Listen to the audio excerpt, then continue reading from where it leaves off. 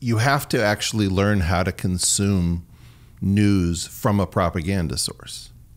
Now, the New York Times mostly fact checks. Mm-hmm. Um, that's not where the problem is. So it's I find it's pretty good um, if they are willing to state something unequivocally. They know when they're lying. They know when they're propagandizing, and so you have to be able to learn, like about the "to be sure" paragraph.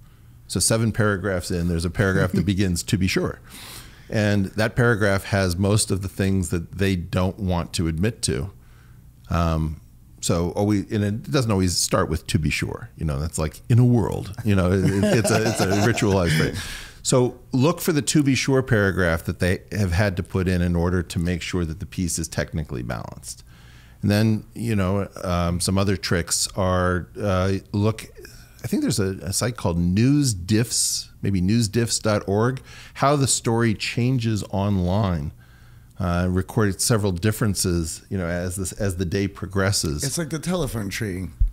Right. Well, like a perfect example for us was the incident that happened on the mall at the, in Washington, where there was a, a MAGA group of teenagers who mm-hmm. were interacting with the Native Americans and the drums. Right. And you saw that from the left leaning media, they picked up this scoop around the MAGA teens accosted the Native American, and it right. kind of fit neatly into the left leaning perspective of like, see, these MAGA uh, lovers are out of control, right. right? And it just fit neatly into their archetype. And then I talked to Johnny, and Johnny's like, "Well, that's actually not what I've heard at all. It was actually the opposite."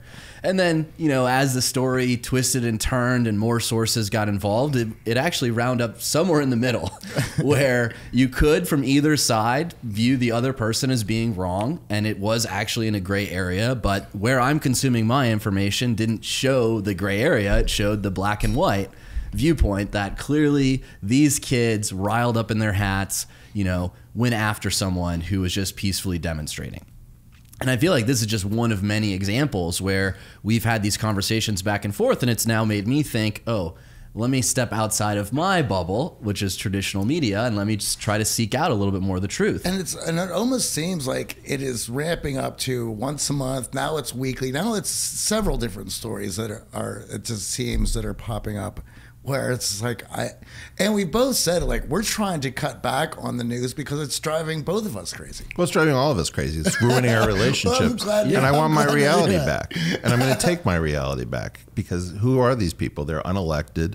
We can't question them. We can't understand what's going on. We know who they're hiring. Sarah Jeong at the New York Times. I mean, okay, you, you, it's like we're going to write a confession uh, that we're actually a, an activist, you know, political uh, source. Okay, However, here's here's what I would recommend to your um, to your listeners. Think about every news organization as having a guiding narrative. Okay, so once you've got a guiding narrative, you have to ask what happens when a narrative aligned story story comes through that organization. So my claim is that all of the major outlets the sense making organs, if you will, in my jargon, can none of them are so weak that they can't catch a fly ball. right? If somebody hits a pop up fly, they've got it if it's narrative aligned. So Breitbart right. is going to do fine if there's some story about somebody faking a hate crime. Mm-hmm. They're going to cover that. Mm-hmm. Okay. On the other hand, if there is an actual hate crime, that's going to line up much more with the New York Times or Vox. So now you have this weird thing, which is that no one, there does not appear to be one single organ who can faithfully report a counter narrative story. And there is always a counter narrative story that will eventually come in. With something that you don't want to have to consider because it fouls up what your general view of the world is. If you believe, for example, that um, immigration is a pure positive, it's a free lunch. You know, Noah Smith told me straight up that he believes that it's a free lunch. It's the rarest of all things with no downside. Well, okay, sooner or later, some immigrant is going to do something horrendous. And that means that there's a problem for anybody who's stated, no, it's a free lunch, it's the miraculous thing that never happens. On the other hand, if you believe that immigrants are the, are the source of you know America's weakness, I guarantee you somebody's going to found an amazing pharmaceutical company that's going to cure all sorts of diseases and that, that wouldn't have been done otherwise. Okay. So now the question is why is no organ able to report both of these phenomena? And that has to do with the fact that we are living in a narrative driven era. And so, you know, that I'm trying to be open. I have narrative stories and I have counter narrative stories that run against what it is that I'm trying to say. It's much more fun to report the stories that perfectly align with my narrative. But I think that the big answer is you have to consume eclectically. You have to think about it as like your ear.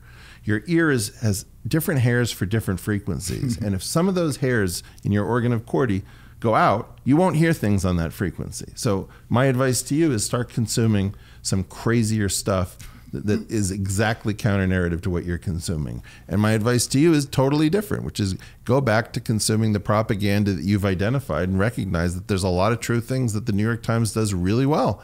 But you're going to have to do both. You're going to have to aggregate across this because there is no sense making organ, not one that I've found, that can report a counter narrative story faithfully.